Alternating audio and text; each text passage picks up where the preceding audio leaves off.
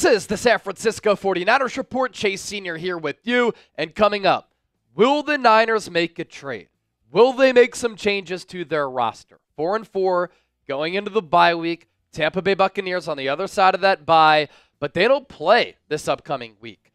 And the November 5th NFL trade deadline is looming and it's coming up next Tuesday. So San Francisco's going to have to survey this roster, canvass it, and determine whether or not they want to either buy, sell, or stand put at this deadline. So we're going to dive into the latest San Francisco 49ers trade rumors as we approach that aforementioned deadline. But first, I've had Seahawks fans reach out to me. Our Seahawks host has been bothering me all day long saying, Hey, Chase, I saw that you're closing in on 148,000 subscribers. You're not going to get there. We're 470 people away. You know what I said? Yeah, we're going to get there. And we might get there with this video alone. So if you want Niners coverage every single day, lock us in, hit that sub button, and shut the Seahawks fans up. By the way, Seattle, they had defenders beefing, pushing one another on that sideline after getting embarrassed by the Buffalo Bills. You'd love to see it. So here's what Ian Rapoport had to say about the status of this football team pertaining to if they will make a trade or not. Quote, I'm not so sure they make a trade. Yes, obviously, they are going to explore, but the 49ers really like the receivers they have on their roster this may be a situation where the 49ers stick with what's already in their locker room.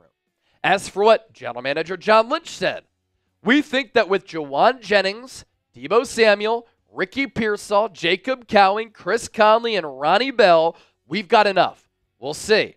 I think our track record has shown that we're always going to field calls. We're always going to make calls, see what's out there. If we can improve our team, we will. The 49ers are one of the more aggressive organizations in the National Football League. And John Lynch is right. Their track record tells a story. They've been aggressive with retaining and paying their own players. They have been aggressive in building up their football team, whether it be moving up in the draft, signing players in free agency, making trades, and making in season trades. Last few years, they've made pretty impactful moves at the NFL trade deadline whether it be Emmanuel Sanders back in 2019, whether it be Jordan Willis a few years ago, Charles Omenihu, and the last two years, Christian McCaffrey and Chase Young. Those are pretty sizable moves for San Francisco. And so John Lynch is always working the phones, and this is why I'm a fan of his because he's never content and he's always willing to listen. He's always willing to keep his eyes and his ears out to make a move. Now, with the 49ers make a move at wide receiver, I wouldn't be shocked, but I'm not sure that's the position that the Niners are going to target. Because I'm alongside John Lynch when he says that he likes the wide receiver group. So do I. We saw it on Sunday Night Football. We've seen it this year. That's why it was a little bit confusing that the Niners signed Brandon Aiyuk to the deal that they did because they have Deebo Samuel. They re signed Jauan Jennings. They drafted Ricky Pearsall as well as Jacob Cowing. You gave an extension to Christian McCaffrey on offense. You have George Kittle. And so it was more of a luxury to retain Brandon Aiyuk. But now that you lost him, it's next man up. Everybody has to elevate up a roster spot, so to speak, as far as climbing the depth chart. But it's still a pretty good unit. Deebo Samuel had a really good game. Ricky Pearsall 39 yard end around, making plays in the pass game, a big third down conversion on that diving catch from Brock Purdy. Jacob Cowing against the Chiefs two weeks ago, stutter go, long ball. If he could take the top off of the defense, that's a weapon. I think that he, like Pearsall, can be used as a gadget guy on gadget plays, end arounds, reverses. The little bubble screen that he caught against Kansas City, he had some short area quickness, a little bit of wiggle to get free and pick up some yards. And Jauan Jennings, I think that with him elevating and him getting more opportunities, and Kyle Shanahan saying on Monday he expects to have Jauan Jennings back after the bye, that he can put up good numbers because we've seen him do that. Chris Conley, special teamer. Ronnie Bell, drop issues, more of a special teamer.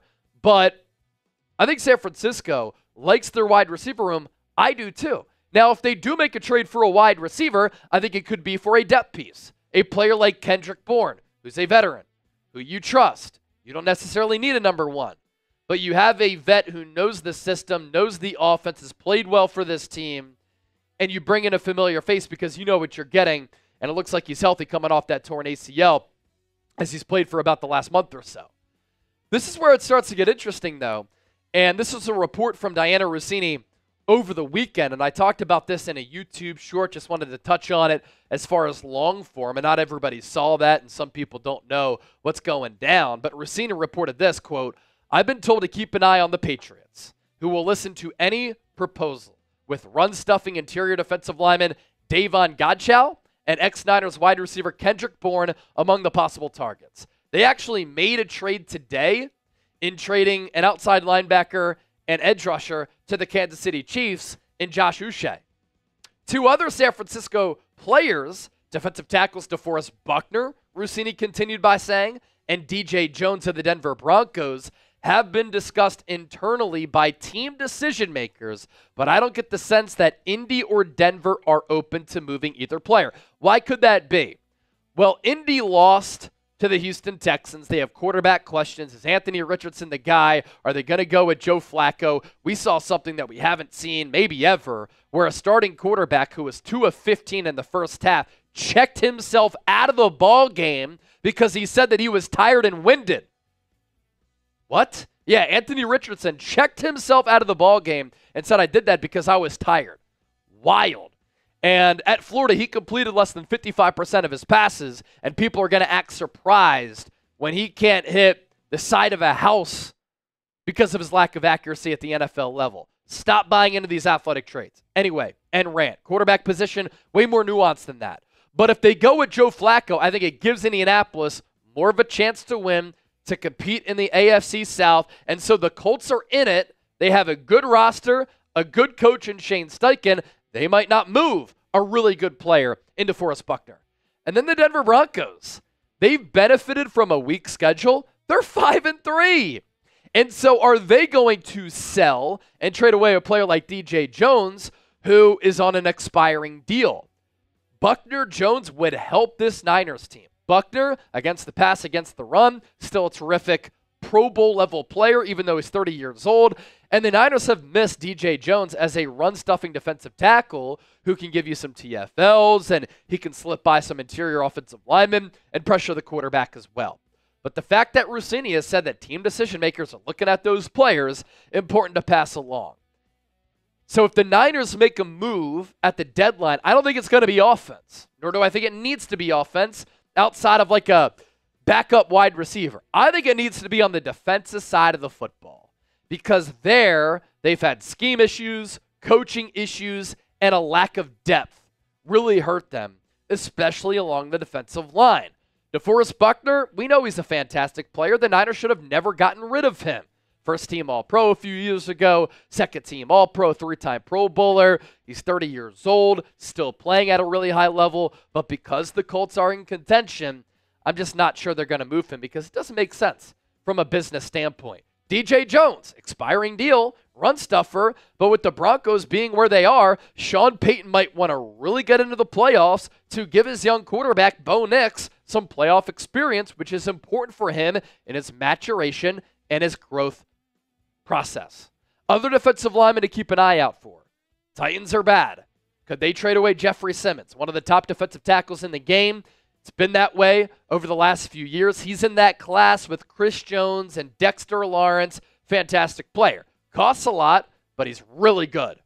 Calais Campbell, an older player who could play defensive end, defensive tackle. He's 6'8. He's a bull. He's in his late 30s, but he can still play too at a pretty good level. And Jadeveon Clowney as a depth edge rusher as well.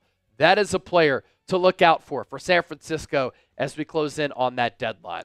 Don't forget to subscribe to the channel because if the Niners make a move, you know I'm going to talk about it. We appreciate you for watching. We'll catch you next time. See ya.